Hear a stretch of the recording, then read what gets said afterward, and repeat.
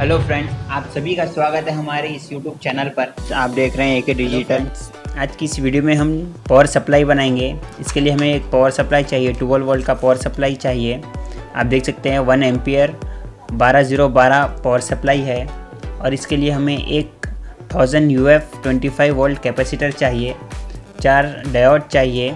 One N four double zero seven diode है। ये चार ले लें। इस वीडियो को शुरू करते हैं।